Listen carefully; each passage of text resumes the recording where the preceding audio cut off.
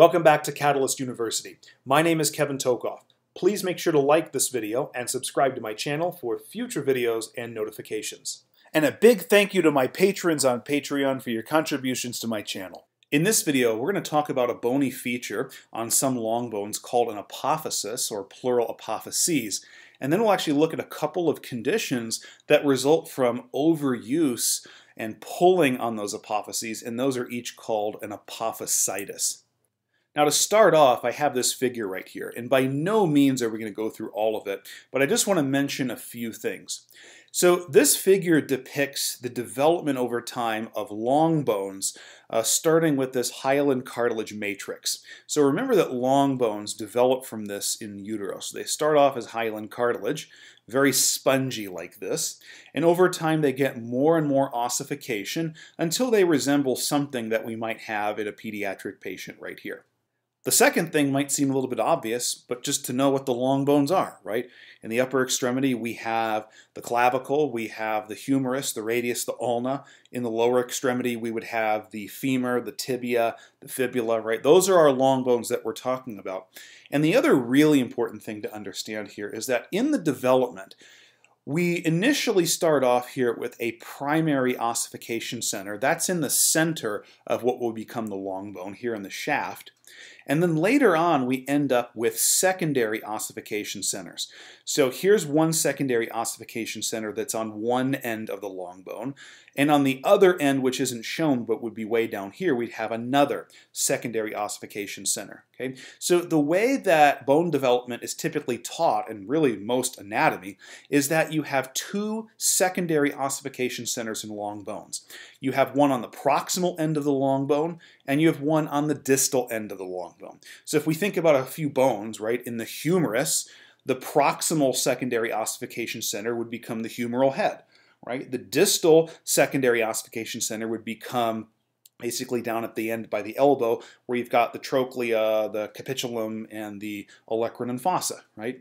If we were to consider the femur, then the proximal secondary ossification center would become the femoral head, and the distal secondary ossification center would be down here where it articulates with the knee, and we've got the medial and lateral femoral condyles, right?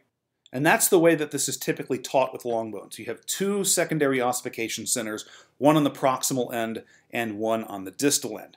Now hold that in mind. We're going to come back to that in just a minute, but first, let's actually go over some relevant anatomy here. The first thing we have here are the epiphyses, or singular epiphysis. So the epiphyses are really just the proximal and distal terminal ends of the long bone. So up here in dark blue, this is the proximal epiphysis. For the femur, it would be the femoral head, right? That's the proximal epiphysis. And down here would be the distal epiphysis. This is the part of the femur that articulates at the knee joint with the tibia, right? That's the distal epiphysis. Then we have the physes, or the physis singular. These are directly internal to the epiphyses. Okay, so the physis is really just a fancy term for a cartilage growth plate that allows the bone to grow in length. Remember that pediatric patients have growth plates. That's what kids have. And eventually they ossify, and then the person no longer grows in length. But this would be the proximal physis right here, directly internal to the proximal epiphysis. And then this would be the distal physis, or the distal growth plate, that is directly internal to the distal epiphysis. So the physis is just a cartilage growth plate. Then we have the metaphyses, which are directly internal to the physes. Okay, so right here, this would be the distal metaphysis, directly internal to the distal physis. And then over here is the proximal metaphysis, directly internal to the proximal physis. And then internal to the metaphyses would be the diaphysis, which is really just the shaft of the long bone. Okay. So backtracking, remember we have those two secondary ossification centers normally in the ends of long bones. One's found in the proximal epiphysis, one's found in the distal epiphysis, so two per bone, right? Not necessarily. Some long bones actually have additional secondary ossification centers, and they're contained in regions of the bone called apophyses, and an individual one is called an apophysis. So take a look up here. So we've got two that are pointed out here on the femur. This is one apophysis, and then this is another apophysis. And you'll notice that they also have individual growth plates, right? And each one of these apophyses has its own separate secondary ossification center. Okay? This secondary ossification center is distinct and separate from the two that are in the epiphyses at the ends of the long bones. So right here, we can say the femur actually has four secondary ossification centers. Two are in the ends, proximal and distal epiphyses, and one is in this apophysis right here, and the other is in this second apophysis right there, and then they each have their own individual growth plates. And so you could think of these apophyses as not only developing separately, but they also grow separately due to their distinct and separate ossification centers. And then once the growth plates fuse and ossify uh, near or after adolescence, then these bones have effectively fused with the rest of the femur. Now, these apophyses are important structures because they actually are important bony landmarks on the femur. What is this apophysis up here that's a little bit larger than the other? This is the greater trochanter. And we know that the greater trochanter provides many insertions for a lot of different muscles, including the gluteus medius, gluteus minimus, and several of the external rotators of the hip. This one down here, this apophysis that's a little bit smaller, or lesser we might say, is the lesser trochanter, which is the insertion of the iliopsoas muscle, both psoas major and iliacus, right? So these are attachment sites of muscles. It's also worth noting that the tibia has one, that's the tibial tuberosity, and the foot also has one on the calcaneus specifically called the calcaneal tuberosity. These structures all develop as apophyses, and so in pediatric patients, they may not be fully fused to the rest of the bone, once adolescence occurs and the growth plates fuse, they do become fused to the rest of the bone. So they grow separately and then they have to fuse later on. So what might happen if you have a muscle that attaches on one of these and you're overusing that muscle and you're pulling and you're pulling lots and lots of force over time chronically, what do you think might happen to this bone? Well, you'll create a tension overuse injury. The first one we're going to look at is not on the femur, it's actually on the tibia. And this is what's called tibial apophysitis. It has a fancy name, which is Osgood-Schlatter syndrome. So here's basically your setup of the knee joint, right? Here's your femur, right? And then this muscle right here is the quadriceps. Down here is the tibia. And then this little dot right there, that's meant to be the tibial tuberosity. And I'm meaning to show that it is attached to the tibia, but it's not completely fused yet in a pediatric patient. And then this bone right here, this is the patella. So this would be the quadriceps tendon or the patellar tendon. Down here would be the patellar ligament. And so what we know is that when the quadriceps contract, it puts tension on that quadriceps tendon or patellar tendon, which pulls the patella, which then pulls on the patellar ligament, which then pulls on the tibial tuberosity. Now for adults, we use this extensor mechanism all the time. And sure, we might have some tendinous injuries or mm-hmm. ligamentous injuries, but the tibial tuberosity in us is already fused with the rest of the tibia. But in a pediatric patient who might be chronically overusing their quadriceps or any activity that involves knee extension, this extensor mechanism is chronically pulling and pulling and pulling on the tibial tuberosity with lots of force, um, and it basically creates an overuse injury where we get inflammation there between the tibial tuberosity and the rest of the tibia. And it's a painful inflammation. Now, in the vast majority of cases, it's just that it's inflammation. And you can see that over here. So here's the tibia, here's the femur up here. You can even see the growth plate of the distal femur right there. Here's the patella. Here's the growth plate of the proximal tibia right there. And then right here is that tibial apophysis. This is the tibial tuberosity. You can see this black space right here, or darker space, which is really just that growth plate, signifying that the tibial tuberosity has not yet fused to the rest of the tibia. And normally it's just going to be inflammation there and it can be resolved with conservative care. In rare cases, if there's enough pull on this, the patellar ligament, which you can actually kind of see right here, may actually avulse the tibial tuberosity off, but that's extremely rare. Generally, it's just inflammation um, kind of in that growth plate area because you're chronically pulling on that tibial tuberosity and it's not yet fused to the rest of the tibia. How does this present?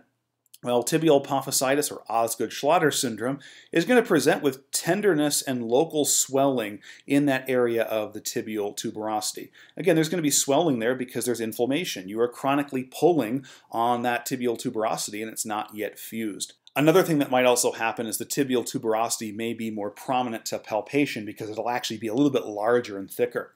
And the reason for that is you're chronically pulling on the tibial tuberosity with this knee extensor mechanism. And so, in an attempt to uh, heal the tissue and keep that tuberosity in contact with the rest of the tibia before it fuses, it's laying down more bone. And so, it may actually be a little bit thicker and larger and more prominent to palpation.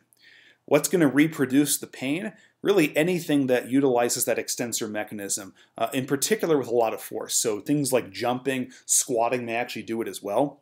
And then kneeling. So kneeling on shins will actually put the tibial tuberosity in contact with the ground, and then the person's weight will be on it. That will also reproduce the pain. So how is this managed? Well, unless it's an avulsion and completely removes this right off of the tibia, it's going to be non-operative conservative care. So it's an apophysitis, there's inflammation. So ice will be used to cool down that inflammation. And then there's a lot of activity modifications. Um, we may want to strengthen the quadriceps, hamstrings, hip abductors and external rotators, but we want to strengthen it without aggravating this tibial tuberosity. So it's going to be lighter strengthening exercises, not jumping or things like that.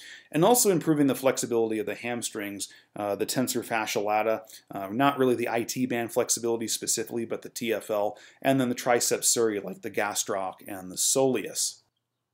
There's another type of apophysitis called calcaneal apophysitis, also called Sever's disease. So here's the foot, obviously, and then this bone right here is the calcaneus, and the most posterior part of this actually develops as an apophysis. Okay, this is called the calcaneal apophysis.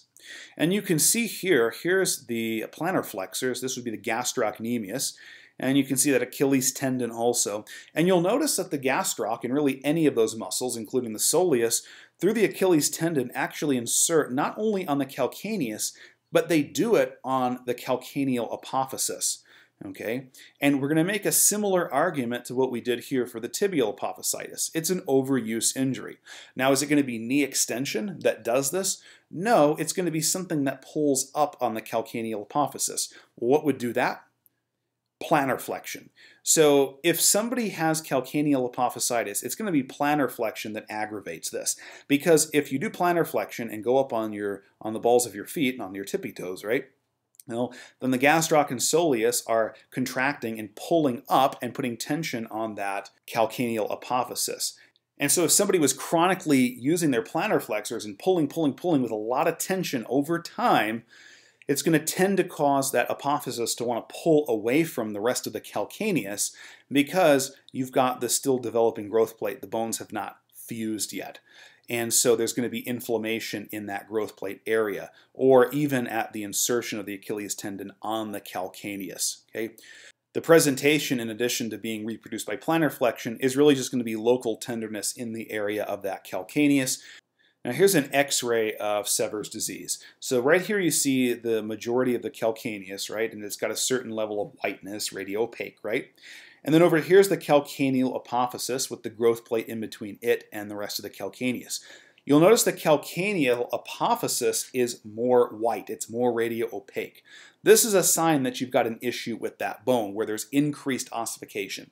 So remember we talked about with the tibial apophysitis that when you get this chronic pulling on it uh, by the quadriceps tendon and the patellar ligament, the bone actually gets increased ossification because it's trying to heal and maintain contact with the rest of the developing bone right? So if you've got excessive plantar flexion, a chronic overuse injury, the calcaneal apophysis is going to respond through increased ossification uh, to attempt to maintain contact with the rest of the calcaneus. And so this is an indication that this is not a normal calcaneal apophysis, that it may actually be Sever's disease in conjunction with reproduction of uh, the pain with plantar flexion. Okay, especially since we still have this developing growth plate and it's in a pediatric patient. How is this treated? In a very similar way to Osgood-Schlatter syndrome. So it's going to be non-operative unless there happens to be a complete avulsion, which is very rare. So we're still going to use ice, may also use some anti-inflammatory medication. Um, again, the ice is to help cool down that inflammation, and the medication should also be used to target that inflammation. So NSAIDs might actually be appropriate in that case because they're anti-inflammatory. Uh, there may actually be the use of an orthosis or a heel cup or a heel lift, basically to get that heel off the ground. There's also going to be activity modifications, just like we saw with uh, Osgood-Schlatter syndrome, and then also stretching the Achilles tendon and with manual mobilization. So why would you want to stretch the Achilles tendon? Well, if you stretch it, it's going to get longer, theoretically, right? And if you lengthen the Achilles tendon, then even at rest, there's not going to be as much tension on that calcaneal apophysis, and that's going to allow it to heal. Okay? So hopefully this video gave you a good understanding of what an apophysis is, and also two of the major apophysitis that uh, present in the pediatric population. Thanks for tuning in. Please like, subscribe, and check out my Instagram for cool science and not science stuff.